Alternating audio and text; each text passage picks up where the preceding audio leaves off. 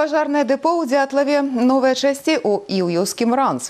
Узвядзенне такіх аб'ектаў запланавана ў гродзенскім рэгіёне, што стане чарговым крокам па павышэнні якасці выканання службовых задач і эфектыўнасці работы выратавальнікаў. Такія прыярытэты названы актуальнымі для служачых падраздзяленняў МНС гродзенскай вобласці першым намеснікам міністра па надзвычайных сітуацыях Беларусі Александрам Худалеевым у рамках рабочай паездкі ў рэгіён. Штодня на баявое дзяжурства ў вобласці заступаюць каля 500 выратавальнікаў у баявым разліку каля 200 адзінак разнастайнай тэхнікі.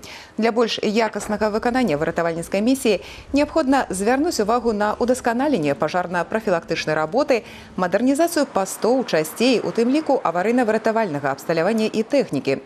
Павышэнню эфектыўнасці работы будуць садзейнічаць і новыя спецыяльныя аб'екты на тэрыторыі гродзенскай вобласці.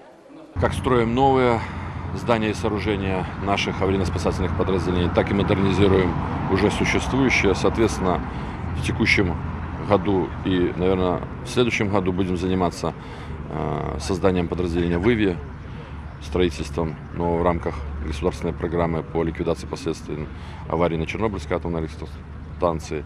Ну и плюс э, занимаемся сегодня строительством уже строим, вернее, заложили фундамент э, здания пожарного депо в Дятлово. Агучаныя задачы службы на перспектыву былі на профільным пасяджэнні з удзелам першага намесніка міністра па надзвычайных сітуацыях Рэспублікі Беларусь Александра Худалеева.